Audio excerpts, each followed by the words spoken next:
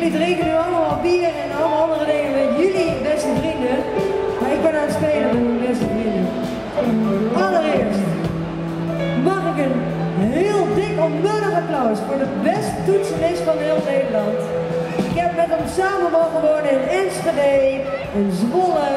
En we weten er niks meer van, want we waren iedere dag lang. Mag ik een heel groot applaus, en ik het voor de beste toetsenist van heel Nederland, Peter Hendricks.